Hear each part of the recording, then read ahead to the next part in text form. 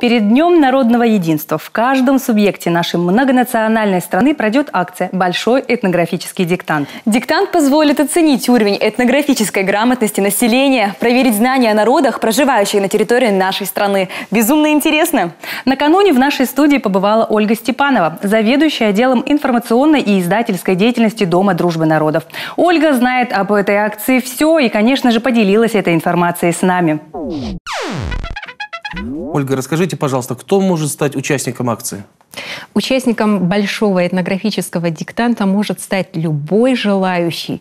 2 ноября, накануне Дня народного единства, мы приглашаем всех принять участие в акции. О ваших площадках э, зрители, наши телезрители могут узнать на сайте миретно.ру. А вот те, кто, может быть, по каким-то причинам не может прийти лично, как он может поучаствовать?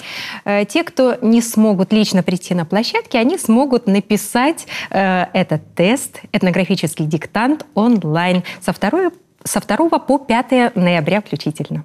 А какие вот, кстати, будут задания, вопросы? Может быть, э, вы сейчас у меня что-нибудь спросите?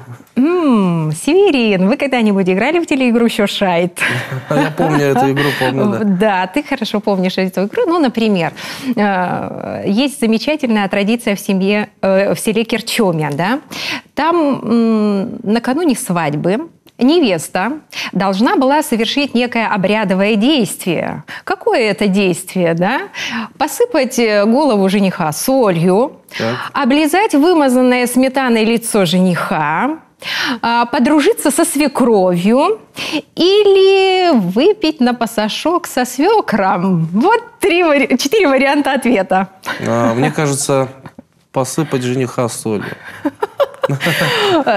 Тем самым защитив от сглаза. Но это же Керчоме. Там обязательно облизывали вымазанное сметаной лицо жениха. Вот Интересно. такой правильный ответ. Ну, это я, конечно, так шучу. Выбрала самый такой веселый, пожалуй, интересный вопрос телеигры еще шесть. Ну, в принципе, вопросы вот такие по культуре, по традициям народов, разных народов, которые проживают в нашей России и в республике а, Коми, соответственно. России, да? То есть Конечно. Это... 20 вопросов они э, общие для всей России, вот, а 10 вопросов, они региональные. Мы тоже предложили 10 вопросов организаторов по Республике Коми, и я думаю, э, те вопросы, которые попадутся в наши тесты, да, для наших жителей нашей республики, будут для них и интересны, и познавательны, и они правильно ответят на них.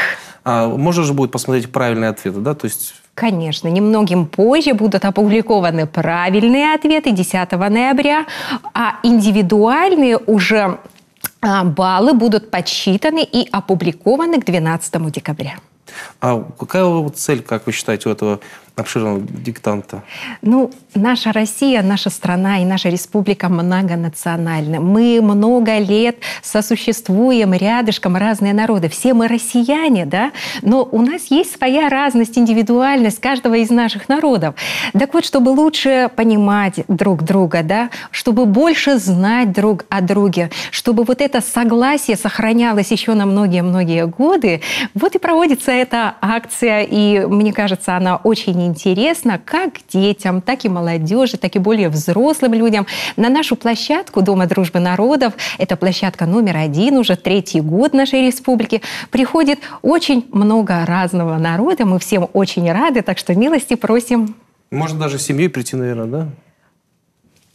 Или, ну, поучаствовать всем в диктанте? Всем, абсолютно, абсолютно всем, всем, абсолютно всем. Э, к нам присоединяются и журналисты, которые участвуют ежегодно, э, ну, в качестве журналистов, да, но не могут удержаться и обязательно ну, конечно, берут бланки, обязательно стараются ответить на вопросы, да, и набирают довольно-таки хорошие баллы. А кто составлял э, региональные вопросы, региональные задания? Я. Так. Ну, так получилось в этом году, да, что я выступаю как региональный координатор, и мне было предложено составить эти вопросы. Эти вопросы были у нас приняты э, в Федеральном агентстве по делам национальности. Так что я очень рада, что вопросы Видимо, ну, понравились. Учитывая твой опыт работы на телевидении э, с представителями разных национальностей нашей республики, э, из разных районов, то я думаю, что вопросы регионального этапа будут интересны. А, немножко об опыте прошлых лет. Как раньше проходило, что сейчас изменилось? Ну, э, изменилось прежде всего количество площадок. Если в прошлом году, да, будем сравнивать с прошлым годом, было 27 площадок в республике организовано, в этом году 60 семь площадок практически, все муниципальные образования республики откликнулись, и звонки поступали вот вплоть до сегодняшнего дня о возможности присоединиться к этой акции. Люди хотят наверное, все-таки больше узнать о разных это народах. Это такой хороший способ. Получить вот больше информации. И это ведь своего рода такое этнокультурное воспитание да, населения. Мы чтим свои корни, мы чтим свои традиции, мы уважаем наших соседей. Что может быть лучше? Абсолютно с этим согласен. Желаю, чтобы все прошло хорошо, интересно. А главное, э, здорово, что люди узнают э, какую-то интересную информацию о других народностях, этносах нашей республики и нашей страны. Спасибо большое. Спасибо, Северин.